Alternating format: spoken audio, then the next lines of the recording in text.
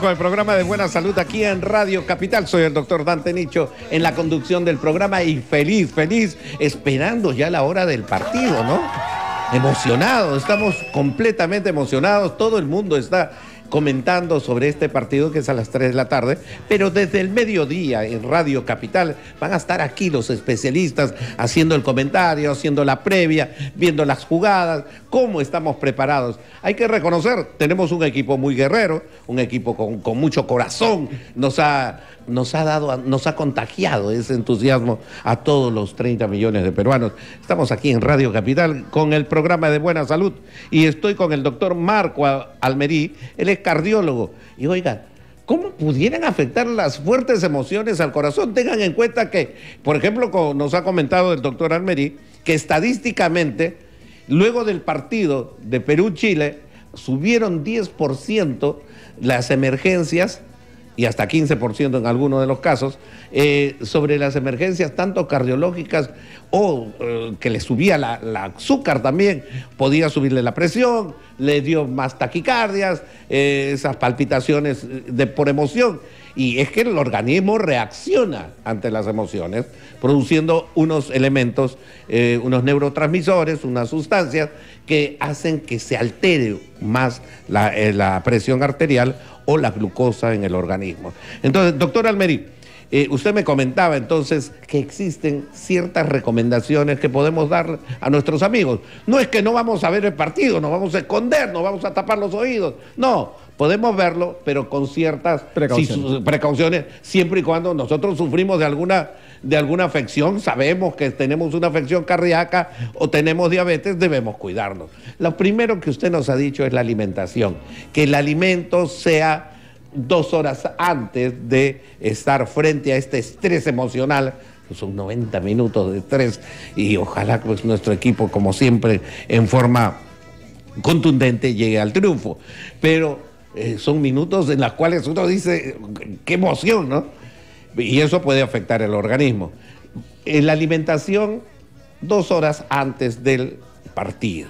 Doce y media, una debemos estar almorzando, pero también algunos elementos que pudieran causar problemas en la alimentación, Así excesos de repente. Sí, claro, lo que hemos detectado después del partido con Chile, en personas que hicieron arritmias cardíacas, crisis hipertensivas o anginas de pecho, fue el exceso en el consumo de sal la gente acompaña el partido con snacks salados. Ya, correcto, correcto. eso es un Las error. Papitas, Las papitas, esas de bolsa que vienen muy saladitas. Que, tienen un exceso de sodio y hay que mirar los octógonos también. Ah, ahora que están los octógonos. Así es, el, exceso de sodio provoca el incremento de la presión arterial y a su vez provoca un incremento de la frecuencia cardíaca, despertando las arritmias en los pacientes. Y ojo, lo puede tener cualquiera, pero más aún aquellos que ya tienen el antecedente cardiológico o tienen factores de riesgo. ¿Quiénes son estas personas?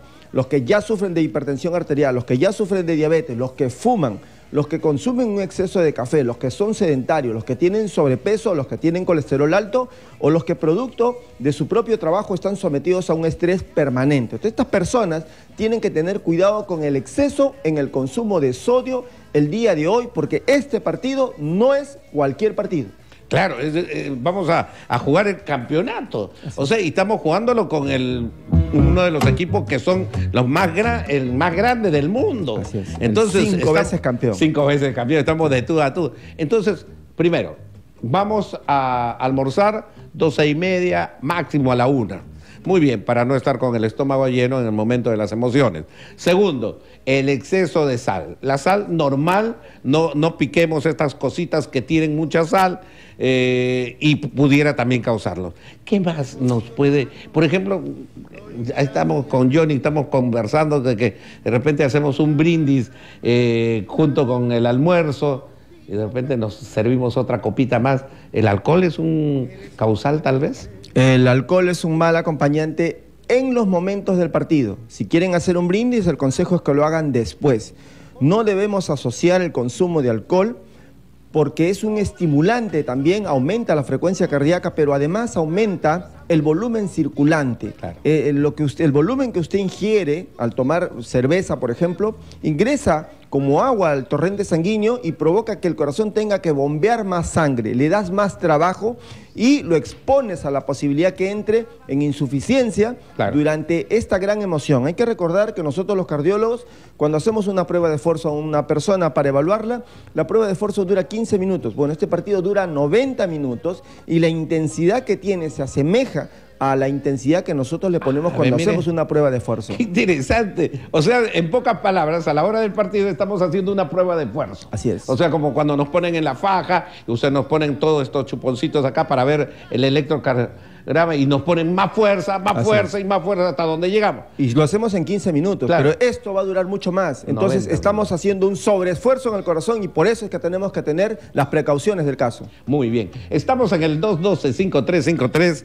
en la central de Radio Capital. Usted nos puede llamar. ¿Cómo se siente? Cuéntenos, ¿cómo, cómo se sienten ustedes eh, cuando van a ver un partido? Yo conozco gente que dice, no, yo no quiero ver, no quiero ver, porque me emociono demasiado. Pero están ahí escuchando el partido están mirándolo de a poquito, ¿no? Entonces, ¿cómo se sienten ustedes cuando, cuando ven este partido? Se sufre, porque realmente hay gente que llora, eh, se emociona, se golpea, hay de todo, ¿no? Eh, que es una forma de demostración del estrés. O sea, lo que usted nos está diciendo científicamente, doctor Almerí, es lo real, lo que sucede. Realmente estamos en una prueba de esfuerzo a nuestro organismo y más que todo al corazón. Eh, lo estamos sometiendo a grandes eh, trabajos. Muy bien, 212-5353, Central de Radio Capital. Nos habló usted sobre que debemos comer o debemos almorzar el día de hoy más temprano. Perfecto, es una muy buena recomendación. Segundo, la sal. La sal en exceso no va bien con, los estados de estrés. Segundo, eh, tercero, ya vamos con el tercero, que es el consumo de licor. El licor debe estar, si queremos hacer un brindis, muy bien lo ha dicho usted, lo celebramos o lloramos, pero después, eh, del partido, no durante ni antes del partido. Muy bien.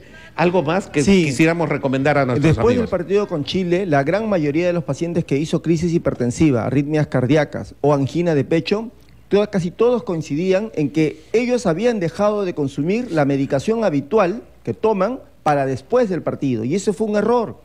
Las personas que, por ejemplo, tienen alguna medicación antihipertensiva, antiarrítmica y que tienen eh, dosificada para las 3 de la tarde, 4, 5, 6 de la tarde, estas personas tienen que adelantar el consumo del tratamiento. Ya, ok.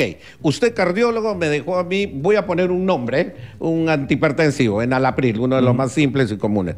Eh, me dice usted eh, que debo tomarlo Le a las 8 de la mañana, a las... 3 de la tarde y a las 10 de la noche. Ok. Ya. Mejor me lo tomo, hoy me lo tomo un poquito lo toma una hora antes. Ah, perfecto, Le damos tiempo al organismo a poder absorber ese medicamento y que cumpla la función antihipertensiva durante esas grandes emociones que pueda generar el partido. Correcto, entonces podemos tener las emociones, podemos estar con las emociones y compartiendo este lindo momento porque lo hacemos en familia, con los amigos y todo ello. Eh, eh, está muy bien, pero cuidándonos. Aquellos que tenemos algún problema hipertensivo, de diabetes, simplemente hay que cuidarnos, no hay problema. Tenemos llamadas. Aló, muy buenos días, bienvenido a Radio Capital. Aló. Sí, buen día. ¿Cómo está? Buenos días. ¿Cuál es su nombre? ¿De dónde nos llama, por favor? Eva de Saborja. Eva, le escuchamos. Eh, mire, yo soy una persona hipertensa. Anteriormente entraba como muy nerviosa, muy y tomaba tomaba una prosalán la mitad, ¿no? Y para prevenir, porque una vez sí me dio sentí el corazón que me latía muy fuerte. Correcto. Pero ahora ya me siento un poco más tranquila, aunque también lo, esta última sí me preocupa, pues obviamente, ¿no? este, este partido es muy, muy, eh, bastante estresante, ¿no? Bastante decisivo para Decisivo para todo, claro. Uno campeona y el otro queda segundo. Pero nosotros queremos ser campeones, ¿no? Ah, claro, obviamente. Este, vamos con fe, todo es posible.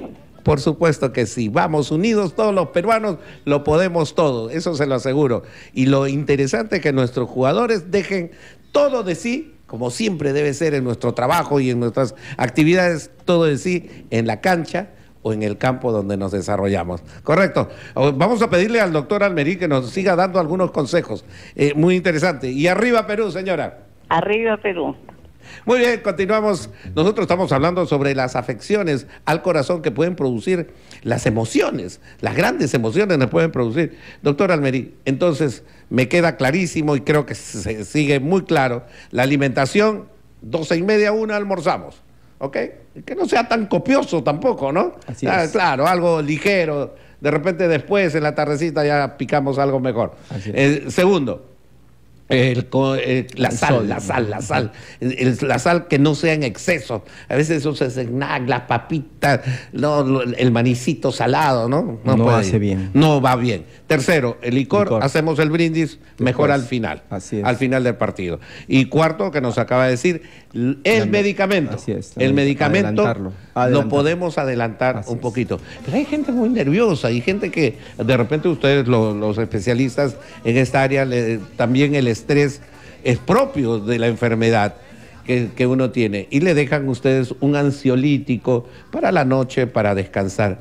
Y la señora nos dijo muy bien, Justo. ella se tomaba un ansiolítico antes del partido. Justo, lo, lo tocó ella, en verdad, Sí, sí. y ese es el quinto consejo que le traemos a nuestra audiencia. Aquellas personas que tienen la recomendación de parte de su médico de consumir eh, ansiolítico, el más usado en el Perú es el alprazolam de 0.5 miligramos, eh, a quienes les decimos que, por ejemplo, tomen media tableta antes de dormir o media tableta ante grandes emociones, bueno, les recordamos que este es un momento en el que usted puede consumir ese ansiolítico que nosotros le hemos recetado. Claro, siempre y cuando usted, el profesional Así médico, es. se lo había recetado Así es, anteriormente. Así es. Entonces, si lo tiene en casa, media tableta, ¿no? Lo puede, puede ponérselo bajo la lengua o lo puede pasar con agua blanca. Y eh, hay que tomarlo 30 minutos antes del inicio del partido para darle tiempo a que el organismo lo absorba y comience a actuar durante el partido regulando, ayudando a la regulación de esas grandes emociones que pueden desencadenar lo que, lo que ya hemos dicho, crisis hipertensiva, arritmias cardíacas y anginas de pecho. Correcto, y eh, siempre y cuando hay que hacer siempre la aclaración. Los medicamentos uno no se automedica. Nosotros seguimos lo que nos ha dicho nuestro médico. Si este médico, no, no- muy bien, el doctor Almerí, eh, nos dice, si no, le dejamos, le habíamos dejado una media tabletita para descansar en la noche, para que coayude a su tratamiento antihipertensivo o eh, cardiológico, pues bueno, bienvenido está también adelantarlo antes del partido. Vamos a hacer una pausa y regresamos en buena salud y siempre con el espíritu rojo y blanco. Estamos con la música de nuestro querido Sambo Cabero, ¿no? Ahí estamos. Y seguimos con el espíritu porque aquí en Radio Capital, al, partir del mediodía, empezamos con la previa, por supuesto, aquí en Radio Capital. Soy el doctor Dante Nicho en buena salud. Hacemos una breve pausa y regresamos aquí en Capital. Mis ojos y veo Perú campeón dicen cada Qué linda canción, ¿no? ¿Cómo nos hace recordar? Esta canción tu- tuvo una gran época en la cual tuvimos unos equipos de fútbol que después de la de- en la década del 70 eh, y llegaron hasta el año 82, más o menos 85, son equi- eh, jugadores excepcionales. Y luego de ahí tuvimos un bache, una sequía muy grande eh, de triunfos y hay mucha genera la generación última nunca vio un triunfo o una clasificación de- del, del equipo peruano hacia la- el mundial o tener una buena performance en Copas Américas o campeonatos internacionales. Hoy día lo tenemos. Tenemos un equipo que, que clasificó al mundial, hemos, tenemos un equipo que hoy juega la final en el Maracaná va a ser nada menos que en el Maracaná, en el mítico, el tradicional en Río de Janeiro.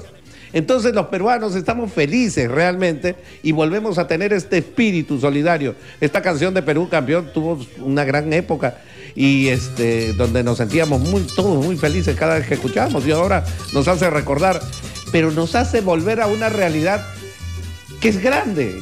O sea, tenemos jugadores, tenemos gente que puede apostar por nuestro Perú.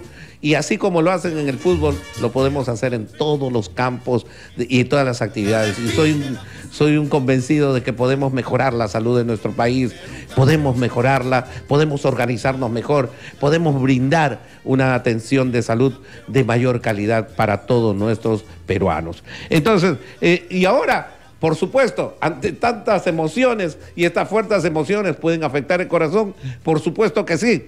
Estoy con el doctor Marco Almerín, él es cardiólogo y nos está ilustrando y nos está aconsejando muy bien, doctor Almerín. También otra de las, eh, de las emergencias, usted me lo comentaba y hemos visto en los datos estadísticos, se incrementan después de estas fuertes emociones, como un partido de la final hoy día, y que lo vieron ustedes en el último partido con Chile, se incrementan también los pacientes que con aumento de glucosa. o sea, el azúcar le sube a los diabéticos. Después del partido con Chile lo que hemos tenido es un incremento de pacientes con hiperglicemia, o sea, una descompensación de la diabetes en un 15% más de lo habitual. Ah, caramba, es, eh, bastante. ¿eh? Es bastante eh, y cuando hemos conversado con estos pacientes que se han quedado hospitalizados, coinciden en tres errores puntuales que se cometieron. El primero de ellos es el, exceso en el consumo de carbohidratos en ese, en ese, en ese día. Es decir, eh, han tomado gaseosas, ¿no? que son ricos en azúcar. Azúcar, bastante azúcar. Han, han, almorzado alimentos que tienen exceso de carbohidratos, demasiada papa, demasiado arroz, demasiado fideo. Claro, es que de repente durante la semana ellos normalmente se cuidan, tienen una dieta adecuada pero ese día llegó toda la familia y uno trajeron la, carapulcra, el otro trajo los tallarines, el otro trajo la papa, la huancaína. Es cierto. Y provoca, ¿no? Y preparan eh, para el partido los sándwiches. Los sándwichitos, claro. Los sándwiches con mermelada, con mantequilla y van comiendo mientras van viendo el partido. Entonces eso contribuyó a un exceso de circulación de glucosa en sangre aunado al hecho que un partido como este de 90 minutos en donde repetidas veces, producto de un gol fallado, un penal por cobrar, una sanción del árbitro, hay liberación permanente de cortisol, este cortisol de por sí es hiperglicemiante, es potente hiperglicemiante. O sea, va a hacer que normalmente por la, por la emoción suba el azúcar. Sube el azúcar. Más lo que has consumido de carbohidratos, el azúcar se va hacia arriba. Se va hacia arriba y el otro, el otro error encontrado, el tercer error fue que estos pacientes, teniendo la indicación de colocarse la insulina o de tomar ah, su hipoglicemia oral, lo habían pospuesto para después del partido. y eso no se puede hacer. Al igual que los medicamentos cardiológicos, estos medicamentos, esta inyección de insulina o este hipoglicemiante oral, podemos adelantarlo. Perfecto, entonces en eso está clarísimo. Eh, la gente puede subirle la glucosa por el exceso y per se, o sea, la emoción eh, eh, propiamente dicho, hace que sube a la, glucosa. Y eso es importante tenerlo en conocimiento. Estamos en el 212-5353, en la central de Radio Capital. ¿Cómo afectan las emociones? ¿Cómo le afecta a usted? ¿Cómo se siente usted cuando ve un partido de fútbol? ¿Se emociona, grita, eh, hace vivas? ¿Cómo, cómo, lo, cómo, ¿Cómo lo goza usted? Porque hay que gozar este partido realmente tan emocionante y tan trascendental. Estamos eh, se está jugando la Copa, la Copa del primer lugar. Y, si los otros partidos con Uruguay fueron emocionantes, el de Chile también emocionante, este es superlativo en emociones. Ah, fíjese usted, hace 44 años nosotros no tenemos esta emoción tan intensa de llegar a una final de Copa América. Bueno, los que nunca hemos visto eso tienen por lo menos 44 años. Y hay que recordar que la edad límite para considerar ya factor de riesgo en el Perú es 45 años. O sea, están límite. Todos los que nunca hemos visto a Perú en una final todos tenemos 45 años o más, o sea, todos tenemos el factor de riesgo, pero además tenemos una emoción muy contenida que hoy puede hacernos jugar una mala pasada si no tomamos nuestras precauciones. Para eso estamos hoy. Claro, y por eso nos está ilustrando usted muy bien, doctor Marco Almerí, cardiólogo. Y usted también puede hacernos sus, sus sugerencias, no puede hacer sus consultas. Estoy con el doctor Marco Almerí, cardiólogo. ¿Cómo afectan las fuertes emociones al corazón? 212-5353, Central de Radio Capital. Usted, ¿cómo goza? ¿Cómo hacen ustedes para ver el partido? Cuéntenos acá en Radio Capital todo estamos ilusionados, emocionados, esperando la hora. Al mediodía, a las 12, ya empieza Radio Capital con la previa y con todos los especialistas en, el deporte rey, ¿no? Que es el fútbol. 212-5353, Central de Radio Capital. Estoy con el doctor Marco Almerí, cardiólogo. ¿Cómo afectan las fuertes emociones al corazón? Y bueno, eh, estas emociones pueden afectar y usted nos ha dado algunos tips preventivos que también nos están llamando nuestros amigos. Vamos a contestarles, ¿sí? Antes de continuar con algunos consejos. Aló, muy buenos días, bienvenido a Radio Capital. Buenos días, doctor. Tenga usted muy buenos días. ¿Cuál es su nombre y de dónde nos llama, por favor? Me llamo Fernando, de Villa Salvador. Desde Villa El Salvador. Ok. Eh, Mi- mi- eh, mi le escuchamos, le escuchamos, sí. Mi pregunta, doctor, mire, yo a veces me levanto en las mañanas y siento como que el pecho me, como que me siento agitado. Me levanto agitado, pero como dicen, no, hay responsabilidad de, creo que la gran mayoría de los peruanos, ¿no? Que no, no voy ni al cardiólogo, Claro. o las veces que he ido, hace, hace mucho tiempo, y siempre me salían que no tengo nada, ¿no? ¿Usted qué edad tiene? Yo ya tengo 44 años. 44 años. Justo en el... 44, disculpe. 44, con justo lo que decía el doctor Almerí, eh, aquellos que están justo en el límite para eh, tener alguna o posible afección al corazón o al sistema circulatorio. Sí, y disculpe, doctor, y yo solo, como dicen, como le digo, como muchos peruanos hemos agarro y solo me fui a la farmacia de mi barrio, como se dice, y le pedí una aspirina. Y yo me tomo me tomo esa aspirina, yo, o sea, hay dos, hay una aspirina que dice que es para el corazón y el otro no, no me acuerdo para qué me dijo. La cardioaspirina, tal vez. Claro, y, y me y compré una aspirina de Ah. 10 miligramos, algo así es. Y Claro. me, me tomé, tomé esa. Y me, o sea, me, me siente, o sea, como que estoy mejor, pero a veces sí me levanto como que, como agitado. ¿Y, usted no se ha medido la presión? Por el último no. Hace Eh, tiempo sí. Habría que hacerlo, ¿no? Bueno, vamos a preguntarle al doctor Almerí si la aspirina tiene un efecto adecuado, también preventivo, porque mucho Doctor. se habla de ello. Doctor, una Sí, preguntita por último. ¿cómo no? Por último. Mi madre, mi madre también sufre de diabetes. Y esa pregunta yo, pucha, con, con el trabajo y todo, o como eso se me pasa y no, ni hacer una consulta esa, ¿no? Y gracias a Dios ha salido el programa, ¿no? Sale Ajá. y uno puede hacer esa pequeña consulta. Con la disculpa del caso, le, le digo, ¿no? Que sea como si sea un poco, o sea, me pase de esto preguntándole. Mire, mi madre sufre de diabetes y yo no soy doctor, pero a mí a veces pienso que ella, el agua la agarró como si fuera una, como un bicho, pienso, ¿no? Porque Toma. el- claro, el doctor le dijo que tome agua, Claro. Pero ella sigue y sigue y sigue y sigue y sigue y, y lo toma como si, disculpe, como si fuera vicio, pues. Dime, pero cuando hablas de agua, toma agua, agua Agua. hervida, agua, este, agua sola, o toma Claro. gaseosa. No toma ahorita está todo, ella, yo estaba tomando agua normal y Ah, ahora ok. toma ella agua, agua es agua que viene en, el, En botella. en botella, en pero botella. con gas Ya, ok. y con gas. Y con gas. Ok.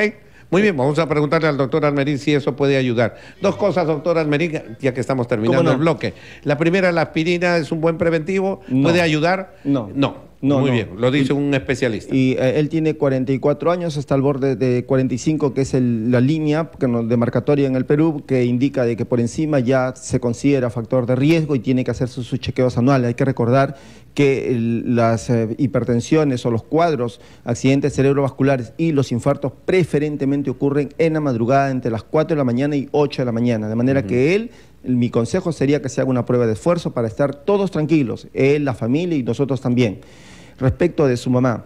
Cuando la glucosa no está bien controlada, ¿ah? cuando no está bien controlada, los pacientes suelen tener polidipsia, o sea, O sea, mucha, mucha sed, sed. ¿no? Polifagia, mucha, mucha hambre, Hambre. ¿no es cierto? Esas, esas dos cosas nosotros vamos a encontrar en estos pacientes que no están siendo bien controladas. Sospecho que la mamá no se Pare- está controlando no adecuadamente. está- ¿no? Y, y esto se acompaña con la poliuria, orina mucho. Entonces, si toma mucha agua, si come mucho y además orina mucho, señal de que hay una descompensación en el manejo de la diabetes y nos puede hacer pasar una mala jugada.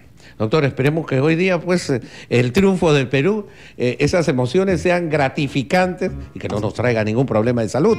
Por supuesto, hay que ser con todo lo que usted nos ha dicho para prevenir. Definitivamente estamos preparados para ver el partido hoy día. Arriba, Perú. Arriba, Perú. Muchas gracias. El doctor Marco Almerí, cardiólogo, ha estado hablándonos sobre cómo afectan las grandes emociones al corazón. Muchas gracias, doctor. A usted, Muy amable. Nosotros continuamos, por supuesto. Vamos a continuar con la alimentación en el adulto mayor. Vamos a hacer una breve pausa. Soy el doctor Dante Nicho. Hoy día feliz, feliz, blanco y rojo, y rojo y blanco para todo el Perú.